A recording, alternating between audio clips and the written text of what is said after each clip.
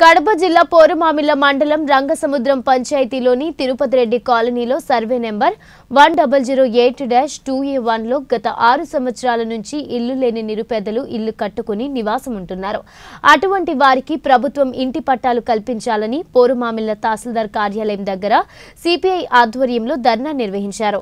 ఈ సందర్భంగా సిపిఐ జిల్లా సమితి సభ్యులు బాలబోబయ్య పోరుమామిల కార్యదర్శి పిడుగు మస్తాన్ ఏరియా కార్యవర్గ సభ్యులు గుడిమె సోమయ్య జోకబ్లు మాట్లాడుతూ రంగసముద్రం పంచాయతీలోని తిరుపతి రెడ్డి కాలనీలో నివాసం ఉంటున్న వారిని అర్హులుగా గుర్తించి జాబితాలో చేర్చి జగనన్న ఇంటి పట్టాలు మంజూరు చేయాలని వారన్నారు.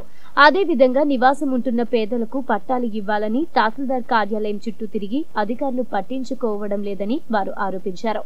ఈ కార్యక్రమంలో సిపిఐ నాయకులు కార్మిక సంఘ నాయకులు మహిళా సంఘ నాయకులు కార్యకర్తలు తదితరులు పాల్గొన్నారు.